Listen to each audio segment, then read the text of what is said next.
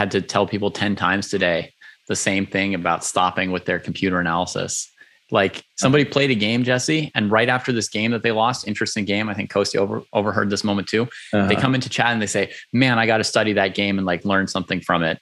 And I was like, "Great, this guy's going places." And ten seconds later, he's like, "So apparently, I'm supposed to this, this, this," and I'm like. Uh. 10 seconds later, you've been using a computer. He's like, yeah, like that's not analyzing your game. uh-huh. Uh-huh. Well, you know, David, I think actually it'd be a really interesting thing to talk about. I, I think that's super common. I mean, I think like most chess players that are playing online are doing that, just like looking yeah. at the engine like right after the game.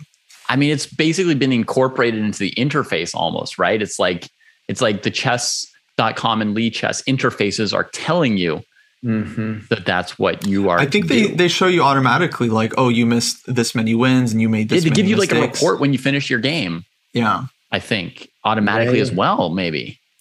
Yeah. But, so um, yeah, that is kind of a problem. I mean, oh yeah. Um, especially, yeah, I've seen like students start looking at the report like while they're like they're they like just started analyzing the game with the coach and then they're like okay. looking at the analysis like as they're working with the coach and that's yeah yeah yeah i think very very troublesome um yeah. because okay i'm sure we agree on this point like the human insight into a game is more valuable than uh, the computer insight. Yes. Um, but uh, I guess the, so. Where I would disagree on this is that I do think that the engine can be extremely useful if used in the right way. So I wouldn't go as far as to say like just don't use the engine ever. Um, number one, I mean, I think that's just like Im- impossible to mandate. I think it's just too tempting for people to want to know like what the computer thinks now that it's so available. But really, actually, I do think that you know, I mean, the engine can help reveal a lot of things, especially when I was like um, going through games, you know, when I was younger and like analyzing games and something would happen in the game that I didn't fully understand or a really obvious move wasn't played or wasn't mentioned in the notes and I would, you know, I would just drive myself crazy. Like, why wasn't this move played or why wasn't this mentioned? And the only way to kind of confirm or, you know, um, uh, disconfirm, what am I trying to say? Refute what the move you're looking at is to kind of check with the engine, and then it can really illuminate. And it sometimes it turns out the move you're thinking about is a blunder because of some tactic you didn't notice, and it's like, okay, well, yeah, I should have seen that. Or maybe it confirms your idea as being fully sound and you're like oh okay so i'm not crazy. This was like a normal move in the in the position. So i think it can be useful but only like in very very specific ways. So that that to me is the danger I mean, I understand that can be super satisfying psychologically. I understand that it's like driving you crazy not knowing, but like in a chess game, you're also always in a state of not knowing, right? So might it not be better to just accept that you don't always know and be used to like not having the certain answer, but making your best answer. And at some point saying, like, I think I've found a move that is a mistake in this book. Mm-hmm. You don't know for sure, but it's the same as like when you're playing a game, your opponent plays a move that you thought was wrong. You think about it seriously. You don't just pounce on it laughing gleefully. You think about it seriously and you're like, to my best estimation, after four minutes of my own reflection, I think this move is probably a mistake and I can do this. And I just have to move forward with that theory. So, yeah. Yeah. Yeah. Oh, go ahead, Jesse. Well, I was just going to say, I think a lot of people think of me as anti computer, but I, I, really want to stress the computer is a, a beautiful thing. And one of the things that's happened in my lifetime I'm such a boomer GM. I grew up before the computer was strong. And um, the thing that happened really was that it kind of was like everyone now has a free coach. It's one of it's like by all means, it's a coach for me as well. And the only thing I, I try to stress is like view it through your own eyes first. Like go over the game with your own eyes, and then only after look at it with a computer. The computer will tell you amazing things. It will truly tell you, and you can think of it as another coach. Um, absolutely. And of course, you need to learn to work with it, but the same way you need to learn, learn to work with a coach as well. you know, like every coach you work with will have their own presuppositions and ideas and um, limitations. And as a student, you kind of have to gain a sense of what those are anyway, you know, just as with the computer. Yeah, I would say when you're playing a game, like by the end of the game, you get some feedback, right? Because you're you're making moves that you think are best and are going to lead to winning the game, and either you're right on that and you win that game, or you're wrong somewhere and your opponent kind of teaches you a lesson. They they show you like why your ideas weren't good, or maybe they just outplay you somewhere.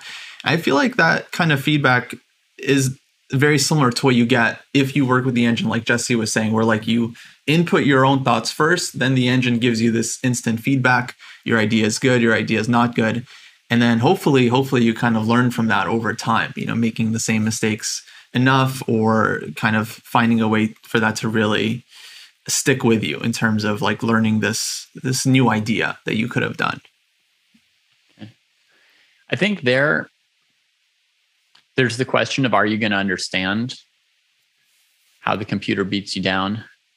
Um, and then also my fear with the computer is always that it's like a slippery slope. It's so psychologically satisfying that you just start using it more and more and more. Um, but so so there has to be like a really strong case for using it for me because i see such a great danger of people sliding into using it badly right? It would be like if somebody told you like you know, if you take this very, very, very tiny amount of cocaine, it can like help you be kind to people all day. And so you're like trying to be kind to people, but it's like you have to be very careful that that you don't like lose everything right. to to that. Um so but but but my question would be at at what level and to what extent are people able to actually learn from that feedback that the computer gives them, right? Like if I'm rated 600 and I turn on the computer, do I understand how it beats down my idea? If I'm 1200, do I understand it? If I'm 1600, do I understand it? If I'm 1850, do I understand it? Like somewhere along the way, the percentage of the time that you understand why the computer is correcting an idea of yours, that percentage is increasing. Nobody understands it every time, right? Like Hmm. You could put a game of yours into the computer right now, Jesse, as a grandmaster, and the computer would suggest some move that you wouldn't understand, right? I mean, that still happens. Yeah. Oh yeah. No, You're not going to understand every, every like reason why it prefers a move. Hmm. So, and for somebody who's just starting out, they're not going to understand a single one of the computer suggestions, pretty much, unless it's like mate in one. So along the way, that percentage is going from basically zero to at some point, you know, a strong professional grandmaster may be able to interpret correctly 95% of a computer's input and suggestions. Somewhere along the way, that percentage goes to 20% and 40% and 60% and mm. reaches a point where it might be useful and worth the risk of touching the drug. but I honestly think that that percentage is really small until somebody's over like 2000 FIDE. And, and I wouldn't recommend it until 2200 FIDE because I think up till that point, it's not like you can't get by without it. And I think the risk is outweighing a fairly small benefit below that point. I understand in 1800 we'll occasionally have the computer point out like a three move tactic they didn't see. And then they'll say, okay, yeah, now I see that. I understand why this doesn't work. But how important was that lesson versus the risk, right? There's mm-hmm. a chance they could have found that on their own. And um, and there's a chance that not finding it wouldn't have made that big a difference in their chess development. Yeah. So uh, yeah, it seems like it's really a question of whether people just learn to use the engine in very like limited and appropriate ways. And I feel like this is something that I've heard most coaches kind of agree with. Is that it's just like it has to be done after you think about the position with your own human brain, and even then, like just very limited. Because yeah, I mean the engine, it, it's so easy to misinterpret it, and it's so easy to um yeah, because there's okay. There's two issues. Number one, you're simply misinterpreting what the engine is saying, so you're not even getting the correct idea about the position. Mm-hmm. Um, or maybe it's like, you know, one side played terribly in a strategic sense, but then they just had like a lucky tactic that won the, the game, and so suddenly you think like, oh, they they must have played well then because they were winning, um, which is definitely not necessarily the case.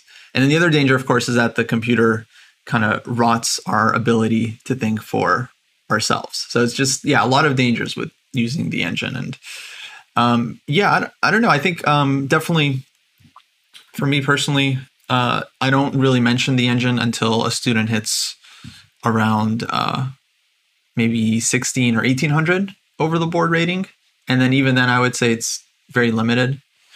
Um, but yeah, if they want to check their, you know, the engine after their game and they've already kind of thought about what they did wrong and they just want to see and they're very like mature about actually understanding what the engine is telling them, then I'm totally fine with it. I think it comes down to like their maturity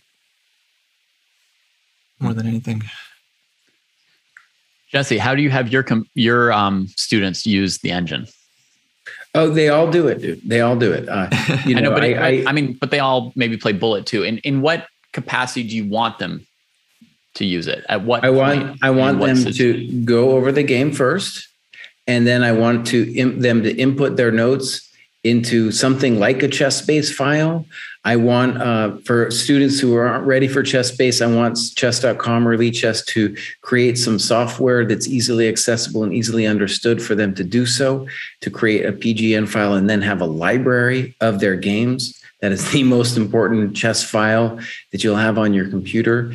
And then only after have they put all that stuff in can they look at like say first before even they look at the computer see what other people played in the opening and then look at the computer. The computer will totally say everything you've done is wrong. You got to prepare yourself for that. You will have you will have formed judgments on the game of, of, of what was right and what was wrong.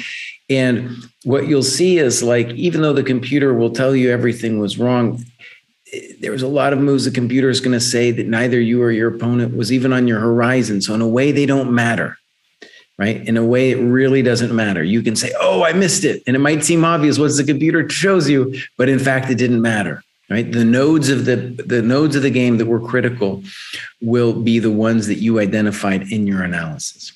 That's one of the key things that, that if you, you just look at it with a computer, you're not going to understand that you know you won't be able to see it with your own eyes and you'll never understand structures because you got to understand and dynamics within the structures you got to do that over the board. The computer's not going to really show you the ideas the position